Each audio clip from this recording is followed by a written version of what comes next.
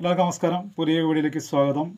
രണ്ടായിരത്തി ഇരുപത്തൊന്ന് നവംബർ മാസം ഇരുപതാം തീയതി ശനിയാഴ്ച പകൽ പതിനൊന്ന് ഇരുപതിന് വ്യാഴം മകരം രാശിയിൽ നിന്ന് കുംഭം രാശിയിലേക്ക് മാറുകയാണ്.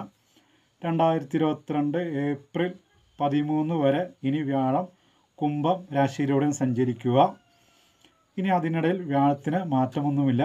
അപ്പോൾ വ്യാഴം കുംഭം രാശിയിലേക്ക് മാറുമ്പോൾ കുംഭരാശിയിലൂടെ സഞ്ചരിക്കുമ്പോൾ പന്ത്രണ്ട് രാശിയിലെ ഇരുപത്തേഴ് നക്ഷത്രക്കാരുടെ ഒരു സാമാന്യ ഫലം വളരെ ചുരുക്കത്തിൽ പറയാം.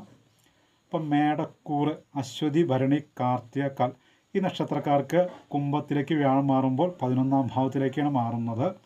പുതിയ സ്ഥാനമാനങ്ങൾ ലഭിക്കും ആരോഗ്യ സ്ഥിതി മെച്ചപ്പെടും പല വഴിയിൽ നിന്നും ധനം വന്നു ചേരും. ഇതുവരെ നിറവേറാതിരുന്ന പല കാര്യങ്ങൾക്കും ഒരു തീരുമാനമുണ്ടാകും. സഹോദരങ്ങളുമായി ബന്ധം ദൃഢമാകും. കുറേ കാലമായി മനസ്സിനെ അലട്ടിയിരുന്ന ചില പ്രശ്നങ്ങൾക്ക് പരിഹാരം കാണാനാകും. യാത്രകൾ കൊണ്ട് ഗുണമുണ്ടാകും. അങ്ങനെ ഒരുപാട് വിവാഹ യോഗമുണ്ടാവും വിദേശ യോഗമുണ്ടാവും വാഹനം വാങ്ങും. അങ്ങനെ ഒരുപാട് സുഖങ്ങളും സൗഭാഗ്യങ്ങളും പതിനൊന്നാം ഭാവത്തിലൂടെ വ്യാഴം സഞ്ചരിക്കുമ്പോൾ ലഭിക്കും. മേടക്കുറിയർക്ക് ഞാൻ സാമാന്യമായി പറയുന്നത്. പിന്നെ പത്താം ഭാവം അതായത് ഇടവക്കൂറ് കാർത്തിക മുക്കാൽ രോഹിണി മകേരം പകുതി. അവർക്ക് പത്താം ഭാവത്തിലേക്കാണ് വ്യാഴം മാറുന്നത്. കുംഭം പത്താം ഭാവമാണ്. പൊതുവെ ഗുണദോഷ സമ്മിശ്രമാണ്. തൊഴിലിൽ സ്ഥാനമാറ്റമുണ്ടാവും. ആരോഗ്യസ്ഥിതി മോശമാകാതെ നോക്കണം. ധനത്തിന് പ്രയാസമുണ്ടാവാനുള്ള സാധ്യതയുണ്ട്. കർമ്മ ഗുണം കുറയും. ആധികാരികളുടെ അധികാരികളുടെ മേലാധികാരിയുടെയൊക്കെ അപ്രീതിക്ക് പാത്രമാകാതെ നോക്കണം. പത്താം ഭാവത്തിലൂടെയാണ് വ്യാഴം സഞ്ചരിക്കുന്നത്. പിന്നെ മിഥുനക്കൂറ് മകീരം പകുതി തിരുവാതിര പുണർദം മുക്ക. മിഥുനക്കുറർക്ക് ഒമ്പതാം ഭാവത്തിലൂടെയാണ് വ്യാഴം സഞ്ചരിക്കുന്നത്. കുംഭം ഒമ്പതാം ഭാവമാണ്. ഭാഗ്യ കാലമാണ്. സന്താന ശ്രേയസ് ഉണ്ടാവും കർമ്മ ഗുണമുണ്ടാവും. ഭൂമി ലാഭമുണ്ടാവും. ഗൃഹനിർമ്മാണം പുനരാരംഭിക്കും. അപ്രതീക്ഷിതമായ ധനലാഭമുണ്ടാവും. വിദ വിദേശത്തുള്ളവർക്ക് തൊഴിൽ തടസ്സമുണ്ടെങ്കിൽ അതെല്ലാം മാറിക്കിട്ടി പുതിയ തൊഴിൽ ലഭിക്കും. പിതൃ ഗുണമുണ്ടാകും പിതാവിനായിട്ട് നല്ല ബന്ധമുണ്ടാകും പുതിയ വാഹനം വാങ്ങും. നല്ല വിവാഹം നടക്കും. വിവാഹാലോചനകൾ വരും. അത് വിവാഹത്തിൽ കലാശിക്കാനൊക്കെ വളരെ ഉത്തമമായ സമയമാണ്. ഒമ്പതാം ഭാവത്തിലൂടെ വ്യാഴം സഞ്ചരിക്കുന്ന സമയം. കർക്കിടക്കുറ് പുണർദം ആ, കാൽ ആയില്യം പൂയം. ഈ നക്ഷത്രക്കാർക്ക് വ്യാഴം കുംഭരാശിയിൽ സഞ്ചരിക്കുന്നത് എട്ടാം ഭാവത്തിലൂടെയാണ്. മൊത്തത്തിൽ കുറച്ച് മോശമാണ് എട്ടാം ഭാവം. ആരോഗ്യ പ്രശ്നങ്ങളുണ്ടാകും. ചികിത്സയ്ക്ക് പണം നന്നായി മുടക്കേണ്ടി വരും. കഠിനമായ ദുഃഖങ്ങൾ അനുഭവിക്കേണ്ടി വരും. സന്താന സഞ്ചാര ക്ലേശമുണ്ടാവും. സഞ്ചാര യാത്രകൾ കൊണ്ടൊന്നും ഗുണമുണ്ടാവില്ല. സഞ്ചാര ക്ലേശമുണ്ടാവും എന്നാണ് പറയുക പ്രായമായവരെ കുറിച്ച് ചിന്തിച്ച് ആശങ്ക ഉണ്ടാക്കും. ഈ പ്രായമായവർക്ക് എന്തെങ്കിലും ബുദ്ധിമുട്ടുണ്ടെങ്കിൽ ഉടൻ തന്നെ വൈദ്യസഹായത്തിനൊന്നും മടിക്കരുത്. മാത്രമല്ല ശത്രുക്കളൊക്കെ ഒരു അവസരത്തിന് വേണ്ടി കാത്തിരിക്കുകയാണ്. ശത്രു ശല്യം ഉണ്ടാവും എന്നാണ് പറയുക. എട്ടാം ഭാവത്തിലൂടെ വ്യാഴം സഞ്ചരിക്കുന്ന സമയം. ചിങ്ങക്കൂറ് മകം പൂരം ഉത്രം കാൽ ഈ നക്ഷത്രക്കാർക്ക് കുംഭം ഏഴാം ഭാവമാണ്. ഏഴാം ഭാവത്തിലൂടെയാണ് വ്യാഴം സഞ്ചരിക്കുന്നത്. ഇവർക്ക് ഈ മാറ്റം ഏഴാം ഭാവത്തിലേക്ക് വ്യാഴം സഞ്ചരിക്കുന്ന മാറ്റം വളരെയധികം അനുകൂലമാണ് ഗുണമാണ്. ദാമ്പത്യ ജീവിതത്തിൽ സന്തോഷമുണ്ടാവും. വിവാഹത്തിന് അനുകൂലമായ സമയമാണ്. പല വിധ മാർഗങ്ങളിൽ കൂടി ധനലാഭം ഉണ്ടാവും. ഇഷ്ട ഭക്ഷണ സമൃദ്ധി ഉണ്ടാവും. പുതിയ വാഹനം വാങ്ങും. ഭൗതികമായ വികാസമുണ്ടാവും. ആരോടും സൗമ്യമായി പെരുമാറും. ഏഴാം ഭാവത്തിലൂടെ വ്യാഴം സഞ്ചരിക്കുന്ന സമയം അതൊരു കേസരി ഭാവമാണ്. കന്നി രാശി അതായത് ഉത്തരം മുക്കാൽ ചിത്തിര പകുതി അത്തം. ഈ നക്ഷത്രക്കാർക്ക് ഈ രാശിക്കാർക്ക് സാമ്പത്തികമായി വളരെയധികം പരാധാനി പരാധീനതകൾ ഉണ്ടാകുന്ന സമയമാണ്. കാരണം ആറാം ഭാവത്തിലൂടെയാണ് വ്യാഴം സഞ്ചരിക്കുന്നത്. കുംഭം ആറാം ഭാവമാണ്. ശത്രു രോഗം കടം ദുരിതമൊക്കെ ഉണ്ടാകുന്ന സമയമാണ്. ആറാം ഭാവം കൊണ്ടാണ് അതാണ് അതാണ് പ്രധാനമായി ചിന്തിക്കുന്നത്. അപ്പോൾ ആ ഭാവത്തിലൂടെ വ്യാഴം സഞ്ചരിക്കുമ്പോൾ സാമ്പത്തികമായി വളരെ ബുദ്ധിമുട്ടുണ്ടാവും. ഭാര്യ ഭർത്താക്കന്മാർ തമ്മിൽ കലഹമൊക്കെ ഉണ്ടാകാനുള്ള സാധ്യതയുണ്ട്. ശത്രുക്കളായി മാറാൻ ഉണ്ടാവാൻ സാധ്യതയുണ്ട്. ഗൃഹത്തിൽ വീട്ടിലൊക്കെ പൊതുവെ അസ്വസ്ഥകൾ നിലനിൽക്കും. മനസ്സമാധാനക്കുറവുണ്ടാവും. അതുപോലെ തന്നെ കള്ളന്മാരെ തസ്കര ശല്യം ഉണ്ടാകുമെന്ന് പറയാം ശത്രുക്കളുടെ ശല്യമൊക്കെ ഉണ്ടാവാനുള്ള സാധ്യതയുണ്ട്. ഈ ആറാം ഭാവത്തിലൂടെ വ്യാഴം സഞ്ചരിക്കുന്ന സമയം. അടുത്തതായി തുലാരാശി ചിത്തിര പകുതി ചോതി വിശാഖം മുക്കൽ ഈ നക്ഷത്രക്കാർക്ക് വ്യാഴം അഞ്ചാം ഭാവത്തിലൂടെ സഞ്ചരിക്കാൻ പോകുന്നത് കുംഭം അഞ്ചാം ഭാവമാണ്. വിവാഹത്തിന് ശ്രമിക്കുന്നവർക്ക് വളരെയധികം അനുകൂലമായ സമയമാണ്. പിന്നെ മനസ്സിന് സമാധാനം സന്തോഷം ലഭിക്കുന്ന പല വാർത്തകളും കേൾക്കാം. ഇതൊക്കെ ജീവിതത്തിൽ പല നിർണായക മാറ്റങ്ങളും പുരോഗതി ഉണ്ടാക്കാം. സന്താനങ്ങൾക്ക് ശ്രേയസ് ഉണ്ടാകുന്ന സമയമാണ് സാമ്പത്തികമായി വളരെ അനുകൂലമായ മാറ്റങ്ങൾ ഉണ്ടാകും. മാത്രമല്ല നാൽക്കാലികൾ കൊണ്ടുള്ള ലാഭം ഉണ്ടാകും. സമ്പൽ സമൃദ്ധമായ ജീവിതം ഉണ്ടാകും.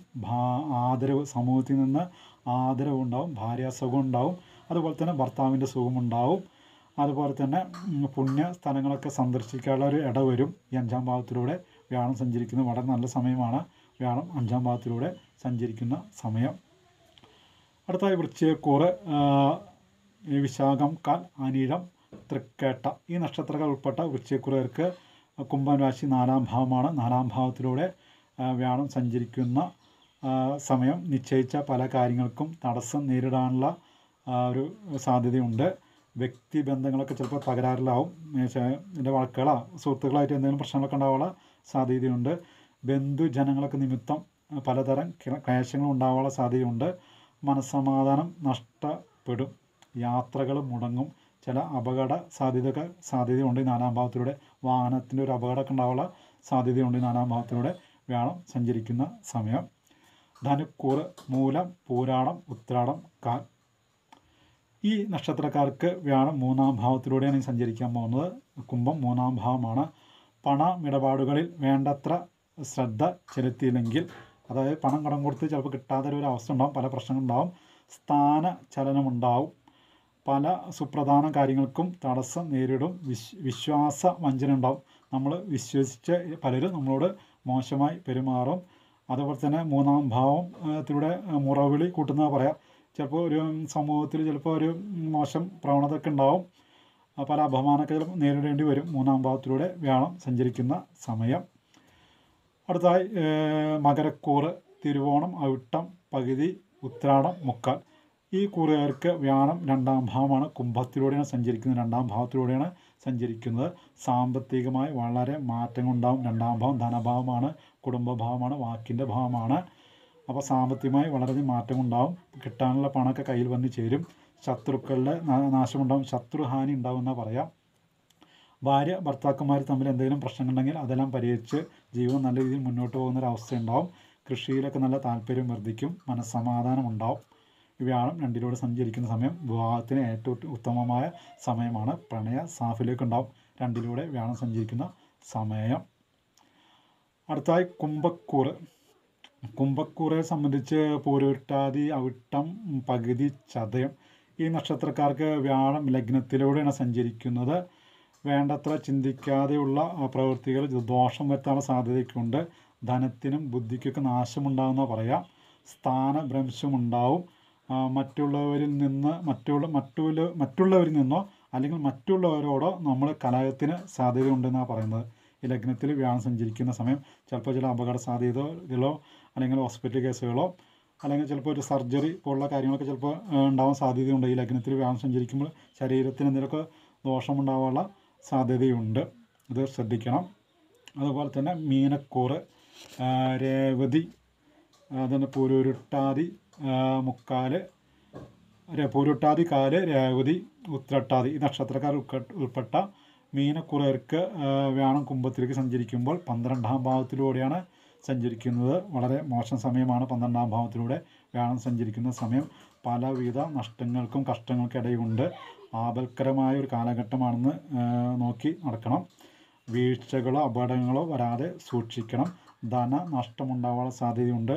ഉള്ള തൊഴിൽ നഷ്ടപ്പെടാതെ നോക്കണം. ഏർപ്പെടുന്ന കാര്യങ്ങളിൽ തടസ്സങ്ങൾ ഉണ്ടാവാൻ സാധ്യതയുണ്ട്.